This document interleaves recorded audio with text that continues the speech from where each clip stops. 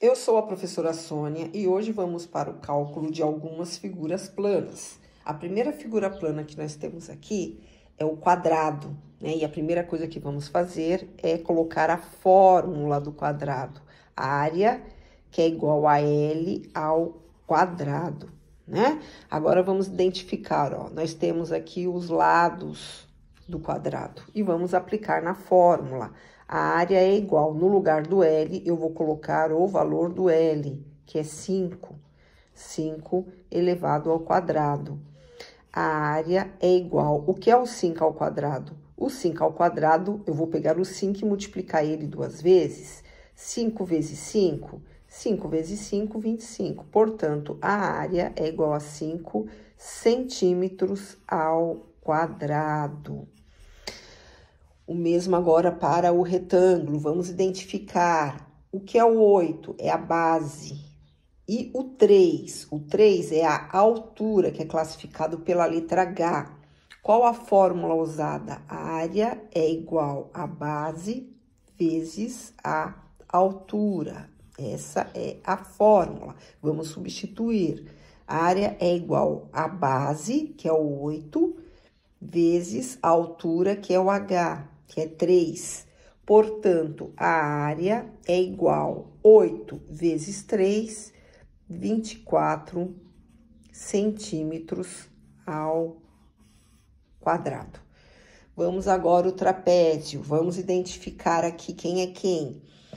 O 5 vai ser a base menor, o 10 a base maior, o 8 vai ser a altura, que é classificado pela, pela letra H. Vamos agora à fórmula.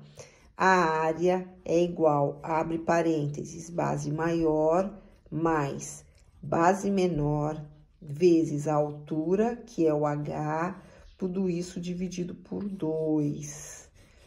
Vamos agora substituir. A área é igual.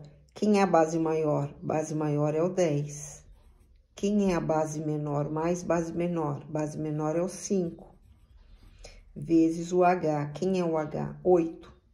Tudo isso aqui dividido por 2. A área é igual 10 mais 5, 15, resolvendo parênteses, vezes 8, dividido por 2. A área é igual 15 vezes 8, vai dar 120 dividido por 2. Portanto, 120 dividido por 2, 60 centímetros quadrado.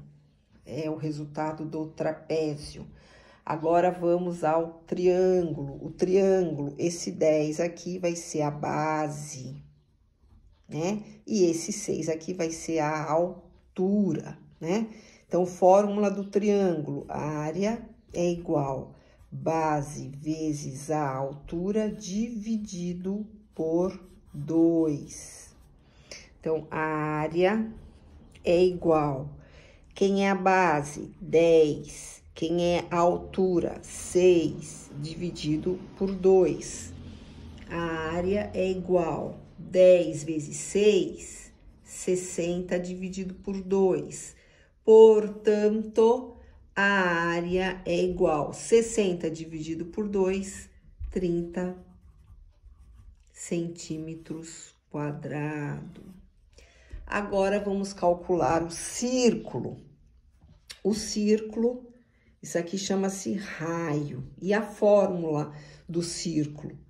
A área é igual ao π vezes o raio ao quadrado.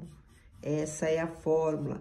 Não esquecendo que o valor do π é igual a 3,14. É só substituir. A área é igual. No lugar do π, eu vou colocar o valor 3,14 vezes. E o valor do raio? Tá aqui, 10 ao quadrado.